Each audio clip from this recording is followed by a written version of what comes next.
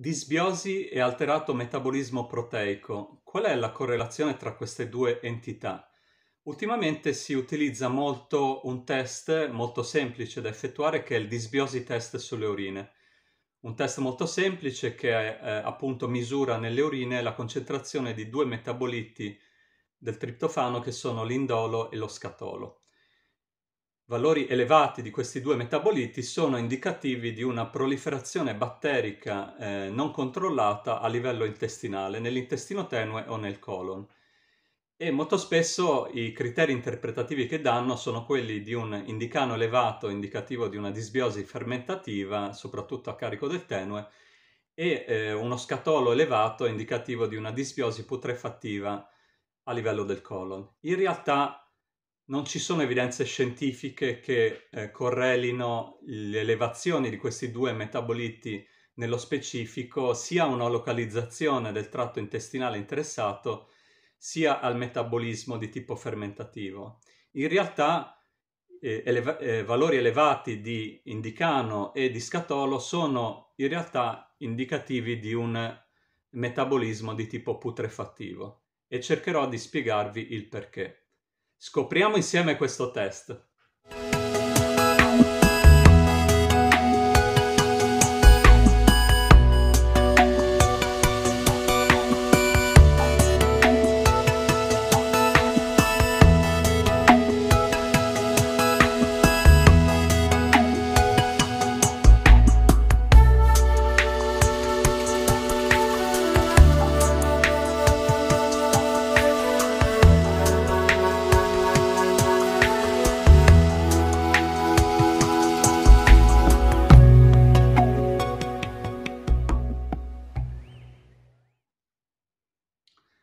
Facendo un passo indietro, eh, quello che interessa a noi nel disbiosi test dell'urine, ovvero i metaboliti dell'indolo e dello scatolo, derivano dal metabolismo del triptofano.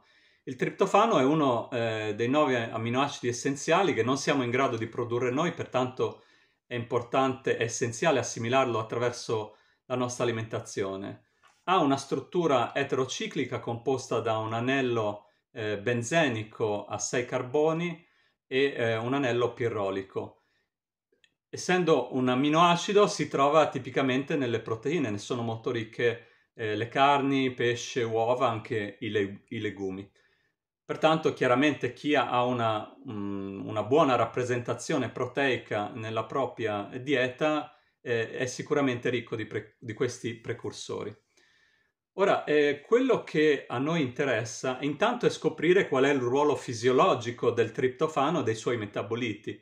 Come in questa schermata che vi mostro sui pathway fisiologici del triptofano, si eh, evidenzia il fatto che il metabolismo, sia fisiologico che batterico, produce tutta una serie di derivati eh, metaboliti come l'indolo, lo scatolo, eh, l'acido indolo acetico, indolo propionico, indolo lattico, triptamina e via dicendo, che in realtà in concentrazioni fisiologiche hanno un ruolo di maturazione eh, sia a livello intestinale che digestivo. Per esempio, eh, alcuni derivati dell'indolo eh, stimolano eh, il rilascio di 5-idroxitriptamina, di serotonina a livello delle cellule entocromaffine, dell'intestino che interagendo con dei recettori regola la motilità intestinale. Quindi un eccesso di metabolismo del triptofano, di produzione di triptamina, è indirettamente in grado di favorire una iperperistalsi, ovvero eh, favorire potenzialmente anche fenomeni di diarrea o di dissenteria. Inoltre eh, questi d- eh, derivati dell'indolo sono in grado di interagire con dei recettori degli idrocarburi su que- sulla superficie delle cellule epiteliali, favorire il eh, rilascio di eh, interleuchina 22 che svolge tutta un'azione di modulazione sul sistema immunitario eh, adattativo, quindi anche nel, nel, processo di educazione del sistema immunitario. Inoltre, eh, mh, diciamo, l'interazione con i recettori favorisce il, il rilascio di GLP-1, che è un ormone che regola la secrezione dell'insulina e in questo modo eh, diciamo, favorisce anche un rallentamento dello svuotamento gastrico. Inoltre alcuni derivati dell'indolo quando raggiungono la circolazione sanguigna possono eh, influire su alcune funzioni di controllo dello stress ossidativo e infiammatorio. Quindi vedete come eh, eh, il metabolismo del triptofano dei suoi derivati è in grado di regolare tutta una serie di funzioni fisiologiche.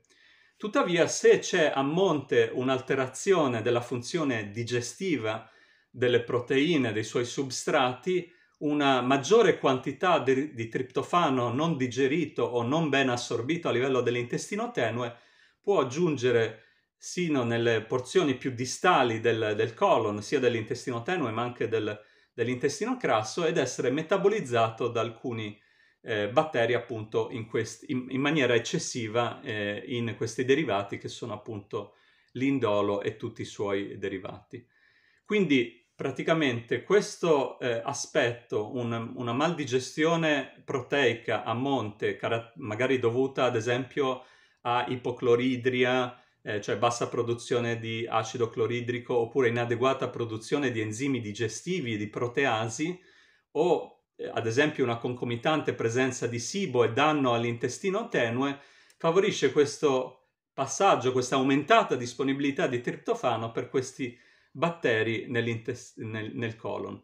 Questo unito ad esempio ad aspetti come rallentato transito, eh, aumento del pH del colon e, ed altri fenomeni può facilitare una proliferazione di alcune specie batteriche che sono specializzate nel metabolismo del triptofano. Infatti vi faccio vedere in questa schermata eh, appunto tutta una serie di famiglie che sono state correlate a un'iperproduzione di indolo e quindi di inticano. E tra queste per esempio compaiono anche delle famiglie eh, opportuniste o patogene come l'Escherichia coli, il desulfovibrio, il famoso produttore di idrogeno solfato, eh, l'Enterococcus fecalis, il Fusobacterium nucleatum, fino a tante altre famiglie come la Klebsiella, il Citrobacter, lo Pseudomonas.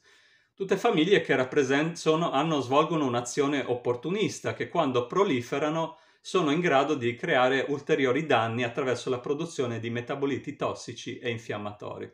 Come vedete, quindi no, mh, non c'è una singola famiglia o specie batterica che può essere responsabile di questa aumentata produzione di indolo, di indicani, ma possono essere più eh, famiglie, più specie batteriche. E inoltre non c'è da dimenticare un fatto che un'elevata produzione di indicano nel test del disbiosi, del, del disbiosi test delle urine non è necessariamente indicativo di SIBO, perché questa proliferazione batterica relativa a queste famiglie che vi ho, vi ho menzionato può avvenire non necessariamente nell'intestino tenue, ma anche nel colon, soprattutto nel colon più distale. Ok? In realtà il, l'iperproduzione di indicano può avvenire anche in concomitanza con la SIBO, quindi la SIBO, la sovracrescita batterica nell'intestino tenue, può essere un fenomeno parallelo e concomitante, per cui il disbiosi test sulle urine può essere indicativo di una, eh, di una disbiosi putrefattiva, di una maldigestione proteica, ma potrebbe anche non essere correlata alla SIBO, quindi i due test potrebbero avere esiti diversi. Altresì potrebbero anche avere entrambi esiti positivi, per cui per questo è consigliabile effettuarli entrambi. Quindi, come vi dicevo prima, quali sono le condizioni associate a, a, eh, a questo indicano elevato? Ora, in questa, come vi ho accennato prima, eh, l'ipocloridria, le gastropatie di tipo autoimmune, eh, la, una bassa produzione di enzimi digestivi che sottintende una maldigestione proteica, eh, una condizione anche di, di diarrea eccessiva e incontrollata può essere legata a questa proliferazione batterica. Una leaky gut syndrome, un'eccessiva permeabilità intestinale che non permette di assorbire adeguatamente eh, peptidi o metaboliti o diciamo substrati del triptofano eh, a livello dell'intestino tenue rendendo questi substrati disponibili a questa fermentazione putrefattiva. Quindi veniamo al test. Ora in questa schermata vi mostro quello che è il tipico esito di un test.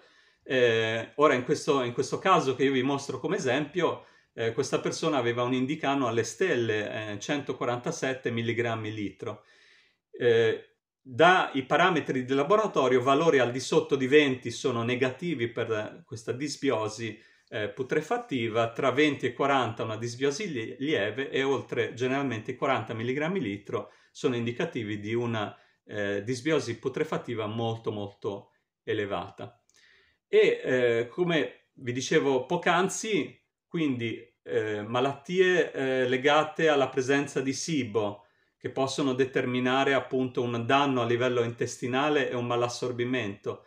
Sindromi da malassorbimento, quindi legate alla leaky gut syndrome, possono anche da sole rappresentare una ragione per questa elevata produzione di indicano. Infatti eh, è possibile anche trovare valori di indicano elevati nelle urine anche di persone che hanno un buon equilibrio del microbiota, che non hanno necessariamente tutta una serie di sintomatologie manifeste. E quindi in realtà in queste persone quello che è da correggere è l'aspetto digestivo a monte, magari l'ipocloridria o il, eh, diciamo, la funzione digestiva. Quindi, eh, ricapitolando, le possibili cause di un, di un test dell'indicano elevato possono essere la bassa acidità di stomaco, la produzione insufficiente enzimatica, il malassorbimento proteico, la concomitante possibile presenza di SIBO o di leaky gut syndrome e soprattutto l'elevato apporto proteico nell'alimentazione. Ricordatevi quindi che qualora si dovesse riscontrare un'elevata presenza di indicano o anche di scatolo nelle vostre urine, eh, è chiaro che, dato che queste derivano da un alterato metabolismo putrefattivo del triptofano, eh, in, in, gran parte dei casi sono conseguenti a una eh, iperrappresentazione di proteine nella propria dieta. Quindi se vi trovate a seguire per troppo lungo tempo eh, una eccessiva rappresentazione a quota eh, proteica nella vostra dieta, questo sicuramente non facilita, anzi pe- può peggiorare questo metabolismo putrefattivo. Quindi uno dei primi interventi può essere appunto quello di correggere eh, l'apporto eh, calorico mh, insomma, dato dal, da, dalle proteine, dalla frazione proteica nella vostra dieta e in modo da in qualche modo controllare o ridurre questa iperproliferazione. E soprattutto indagare anche eventuali altre cause che possono sottintendere a questa proliferazione batterica e a questo metabolismo putrefattivo.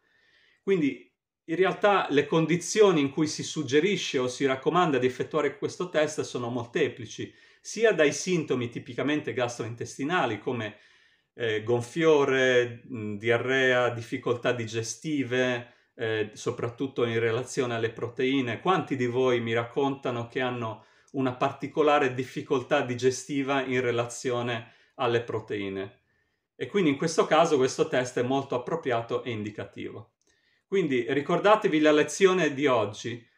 Il test dell'indicano dello scatolo è in realtà un indicatore di un metabolismo putrefattivo non fermentativo che è soprattutto legata a una maldigestione, un malassorbimento proteico nella propria alimentazione e che è sostenuto dalla eh, proliferazione di microorganismi proteolitici e non quelli saccarolitici.